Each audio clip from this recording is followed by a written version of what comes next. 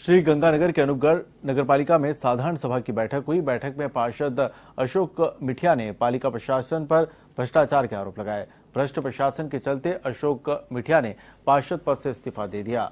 मिठिया के समर्थन में अन्य पार्षदों ने भी बैठक का बहिष्कार कर दिया। पार्षद मिठिया ने बताया कि नगरपालिका में प्रत्येक काम के पैसे लिए जाते हैं। पैसे नहीं देने वालों की फाइलें महीनों से अटकी पड़ी हैं। पालिका में भ्रष्टाचार के चलते मजबूरन उन्हें इस्तीफा देना पड़ रहा है।